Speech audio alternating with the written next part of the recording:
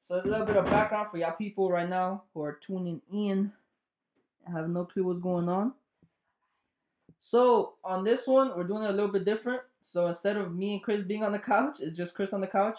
So um, as you probably heard prior, we're gonna ask Chris questions, um, questions that I kind of came up with. Some I searched up just to get the, the things kind of flowing, and then I'm asking him a question so that he could decipher his own train of thought, and then we can have like a deeper discussion based on Chris. That way, you guys get to know us a little bit better. You know, um, I realize like you know we've been going actually pretty strong. We're actually like 40, 40 plus episodes in already. That's crazy. We have like 40 plus videos up already. So the consistency has been not short at all. It's been going, going, going. It has not stopped. Two videos a week every single week since we started. So this is gonna give you guys a little bit overview, you know, more into see. So this this will probably look a lot better in the podcast as maybe you know still in the video. Some people just like to watch video regardless. So uh, you know we like to take advantage of every platform that we can. Yeah, yeah. So sit back and enjoy the show. All right, man. So look, let's start simple, simple, simple, simple. Right? If you can go any place on earth, well, I probably know this, but you know, just so people, if you can go any place on earth, where would it be? Italy. Why? Okay, I think Italy is the perfect combination of history. Wait, wait. Just, just a quick. I forgot. It's nighttime, so we get even more planes. planes, We yeah, get even more planes. no. Bear with us, guys, until we get a studio. We're gonna deal with these airplane noises. All right, go ahead, go ahead. So Italy is the perfect uh, combination of history, food, culture, fashion, right, and ambience. What I mean by that, you can go from Rome to a little villa in like 35 minutes, Yeah. which is crazy. Like you know, and, and I could drive my Fiat out there, and I could be looking Yeah. at, you know, I'd be chilling Yeah, out there. blend in Plus, plus yeah. the fashion there is crazy. Um, the food there is amazing. If you know me, me and Italian food go way back. yeah. Like you know, and history, like the Roman Empire, and, and just think about all of that crazy things. You know, the Leaning Tower of Pisa, and all this other stuff is like it's amazing. And so that I, for me, Italy has like the everything. yeah. That, that that's only like your actual goals in life Yeah. to visit. My goal is actually to live there for a year. yeah. Which Before before like I settle down like real hard. Yeah, Like yeah. my goal is to be there for a year. for a year. Okay. Dope. Dope. Dope. All right. So, if you had to pick, not one, cause it's maybe not you know total, but let's say the one that pops into your head first. Funniest moment. Your last funniest moment. It could be in school. it could be whatever. My last funniest moment, I can't explain it fully, and I'm not gonna give it all. But George is laughing because he knows what I'm gonna say. But uh, you know, I'm blessed, man. I get to do things that I, I honestly, I, I, I always tell George this. but you guys don't hear this conversations, but I also George that I could have never prayed or planned a better life for myself. You know, like I grew up in Honduras. You guys don't know that. I, I was raised since I was ten. And so, you know, the life I get to live is crazy, bro. Like, even people born here don't got the opportunities I got. You know, and, and so, uh, but yeah, my funniest moment is, honestly, it's just George rubbing his head. Like, I know it will make no sense to you guys, but he's laughing because he knows what I mean. But this dude was literally doing this. Bro. Nothing has ever felt this good.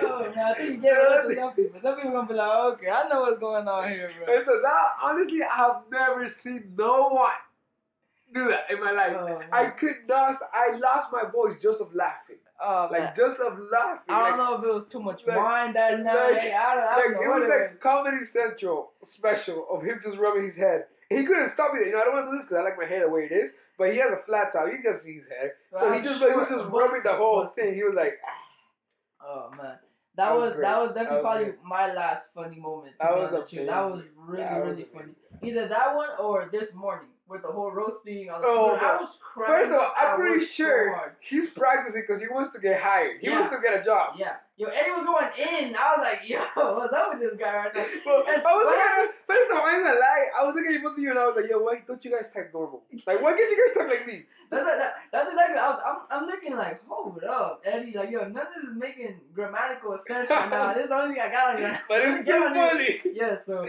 that was that was so funny. Yeah. man.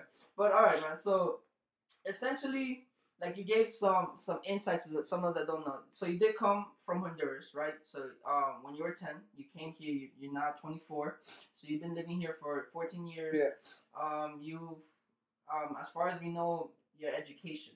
What's that like? Man, honestly, uh, I graduated from FIU uh, last year.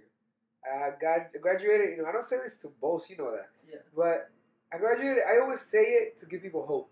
I graduated with two degrees. Yeah. Um, neither of those degrees was my plan. Yeah. like I have planned to graduate with a history degree, but if you are a history major, you know why you don't graduate with a history major yeah. degree. You know. Just history, right? So, uh, but actually, um, you know, I'm saying like the life I have for me is I can't, I couldn't pray for this life. I couldn't ask. I couldn't dream for this life. So I, I came from Honduras, and uh, I was ten. I got here in fifth grade. Obviously, if you've ever been here and you come from a different country, you know the vaccines and all that crap you need to do before you get to school is a hassle. So I didn't start school till like a month after everybody had already started. Fifth grade. I went to Mm. Citrus Grove Elementary. If you know about it, you know. Hood. If you don't know about it, you don't know, you know? And so that was the last time I was in the hood, to be honest with you guys. But uh, I went to Citrus Grove, and I remember that I said like a couple days of being there, uh, you know, people are hearing me, like, you know, I, I, I, I'm honestly, I'm, I talk a lot and I'm loud, but if you know me, you only know I'm only like that with the people I know.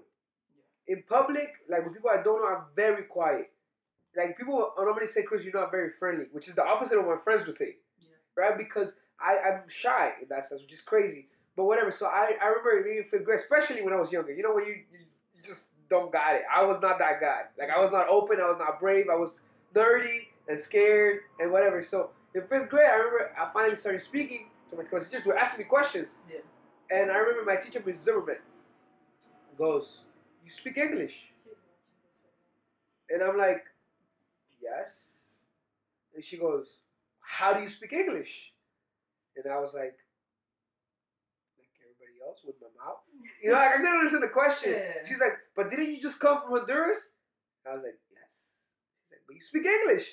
and I'm like, and I'm like, oh yeah, it's because I, I was Honduras. I'm telling you, my life was privileged in Honduras as well. So I learned English in Honduras. I was, I still have a strong accent, you know, but I learned that the language. I was able to speak it fluently, understand it well. Yeah. So she picks me up, like she literally says, come with me. She goes to a different teacher in a different class and goes, he speaks English. And the teacher's like puzzled. She's like, okay, so does everybody else here. Yeah. You know, you know, that's one of the stories I vividly remember you telling me. Yeah, man. And, and so then, and so then the teacher's like, uh, yeah, everybody else here. No, no, he came from Honduras like a couple days ago. They didn't know I came like a month or some ago or something like that. Yeah. But it's obviously I had waited a long time before I got to, to class. It took forever with the vaccines and all. And um, and he said, no, he just came from Honduras. So how do you speak English? I learned. I just learned this. Like, it just And, and then from then on, I went to Carver Middle, I was just a magnet school, and I learned German there. So people were like, "You speak English? Now you're learning German, Brody?" And then I went to uh, Coral Reef, and I went to the IB program, which if you know what it is, you know it's one of the hardest programs to get into. Uh, and then uh, I went to Dade because of the way my life is set up, right? So I went to Dade, and I got a full ride at Dade, obviously, and I didn't pay anything there. Um, and after I Dade, I went to FIU. After FIU, after like two semesters, I got frustrated with FIU, and I took a break of a year. And that break taught me something that school couldn't teach me, which was that school cannot define me because I had always been defined by school. I was I also George separately. Like I I have I don't I can't be a bad person because I don't know how to. Yeah. Like when somebody's disappointed with me, I feel so guilty. It kills me inside. And you've heard my struggles. Yeah. Like I don't like to make to disappoint anybody, and that consumes me. And so you know, I was always a straight A student. I never missed. I was never late. I was never, and that applies to even church, the work now, church now, everything I do now. I don't even like calling out. You know, and when we plan Yeah. vacations, I'm like, I don't know, man. I don't want to take these off. Yeah. It like messes with me. I'm traumatized, Yeah. right? But uh, but so yeah. So then FIU, I took a year off, and I realized that school wasn't all I was. It wasn't all who I was. So then I came back strong, and I, and I was like, you know what? Since I already missed a year, I might as well get two degrees instead of one. So I, I got a degree in political science and one in international relations. I thought I was gonna be a lawyer. Uh, maybe that possibility is still out there, but not at this moment in my life. I realized that I'm not moved by law you know, what always called me to be a lawyer was the idea of helping people. And I realized I don't need a degree to help people, to encourage people. And so, you know, people always told me, Chris, you have a gift with your words. And I was like, dude, I have an accent. You know? And, and so I realized lately that, you know, the thing that moves me most is reminding other people who they're meant to be. And so that's why I always do. Like with George and I, I was tell George like, yo, I'm so proud of you. And he's like, Chris, you're whack. But it's because I see how amazing he is. Like, you know, people around me, I always try to tell them, you know, you're my hero. You're my hero. And they get annoyed because they're like, yo, you say that to everybody. But it's because everybody here is a hero. You know, they don't see it, but I see it. And I think that that, that is uh, my school trip. I know it took a long time to get there, but it's, there's a certain school that school couldn't teach me. You know, and life did. And it realized me that, you know, I have the degrees because I realized if I took this year of break and I still graduated with two degrees at 23, at least in my own life, I wouldn't feel like I wasted time. I regained vision. You know, that's what I, I saw it as. So I mean, with with all of that, how do you see like your life headed now? Like like going through all of that Yeah. now in this present time. I, I think it was like a like a shock to my whole nervous system because um I wasn't used to failure, and and to me taking like quitting school per se for a year or so was me failing because I always saw myself what you bash Mhm. is what I always saw, Yeah. which was I'm going to high school, going to college, getting a cubicle, getting 2.5 kids and a minivan. Like I always saw that. And so taking that break and paying my way through school while I worked on that, it was like a like a nerve shock to me. And now I see that that what I do is not as important as who I do it with. Because man, like I don't know about you guys, you guys might say your friends are dope. But my friends are the dopest. The people around me, like like, you know, I don't get to, to boast about George because George is sitting with me all the time. But now that he's not like, sitting with me, yo, this dude, like, wow, like, yo, half of the time I don't feel like recording. But I show up here because his passion is contagious. It's like, yo, like, I've never seen no one so driven to lift people up. That makes me feel like I have to lift him up because or else he's gonna forget that he also has to be up there. You know, and Eddie, oh man, Eddie's my brother. Like he's my actual like flesh brother. But this dude, we're like best friends, and George knows it because George is one of our best friends too. Like, yo, Eddie and I, like, went for good or bad, we have each other. Eddie has called me at times, and I called him at times where perhaps I shouldn't be telling this to my family. But he's always been there. And then my my brothers, like all my best friends, and then you know the people around me, like Fatima, and like it's like, yo, like I realized that that is more important than whatever I'll ever do. So I show up to cubicle because I mean I have a corporate job and uh and I work 40 hours plus.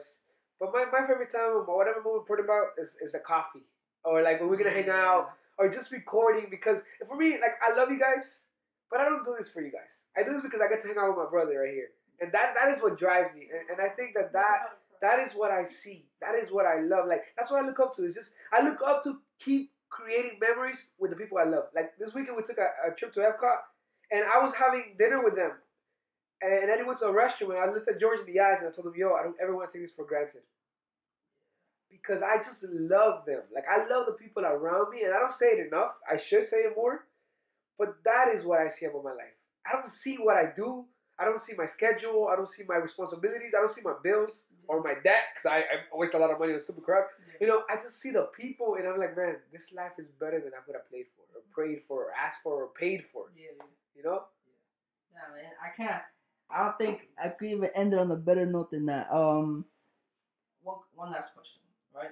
Um, so that was beautifully said. I almost shed a tear. and, and if you know me, you know I'm the hardest kid out here in these streets. You know what I'm saying? I don't cry, but um, but that that was heartfelt, and I feel it. Real talk, I feel it. And um, you know, I feel like a lot of us we walk around with um, like we're just talking right, a certain like, like mask, right? Now, um, this question came about because it was interesting. Um, if you can tell the world as much as you want to give, whatever, right? In the next few minutes, who you really are. under your mask that you wear for the world. I feel like everybody does wear a certain kind of Mhm. mask for the world, right? You know, like you said, like you said, um, at one point you said like you know you're mad loud, but with your friends, right? So, if you're to say who you really are, if you if you recognize a mask, who who are you? I mean, I mean that's hard. Uh, I'm, I think I've only come to understand that in the last like two, three years lately, to be honest. And I realized that um, I'm, I'm a, I'm a, I'm still a scared, shy little kid from Honduras. Like um, I'm scared of disappointment and I'm scared to fail. Like that is that is it. Like it's always been it. Like I don't, I don't like victory. I don't care to win. I just can't afford to lose. And so, uh, you know, and one of the things for me, losing, the biggest thing is, is disappointing the people I care about. So that has always driven me to be the best and to put up a front that sometimes, to be honest, is too big to even bear. Yeah. Because, like, I realize I'm not living up to what people see in me. And so it, like, instead of making me, like, encourage me that they see more in me, it, it kills me because I feel like I'm letting people down. And so my mask has always been I always have to pretend like everything is okay. Like, you know, people ask me, and I don't ever talk about myself. Like, I don't ever talk about myself. Like, George will ask me, oh, well, how's your day? It was good. You know, Fatima will ask me, how's your day? It was good. You know, and I could have probably had the worst day of my life, but I, it was good because I just don't care to talk about any of that because I feel like I have to be perfect for people. And so I've only come to understand lately that people don't relate to the perfection that I pretend to have. They relate to the failures that I go through every day and how somehow I still keep going and smiling. Like people are like, yo, why are you smiling? I don't know. But I'm here and you're here, so let's keep it moving. You know, I work, people are like, yo, I can count on Chris. Uh, a church or a home or with you, people can count on Chris. They can't count on Chris to always get it right, but they can count that Chris will always be there. And I realized that, my facade was always that perfect guy. Spoke well, did this, knew well, knew that. But honestly, I'm just somebody who I can't promise you perfection, but I can promise you presence. I will not always get it right, but I will always be there. And I think that that's where I come to terms with. Like, you can't count on me to know it all, but you can count on me to be there for you. And that, I find peace in that. And that's real. Um, okay, so we have a few seconds. So with that being said, bro, you already know. Love, appreciate, thank you guys for watching. Thank you guys for tuning in. Love you guys. Next.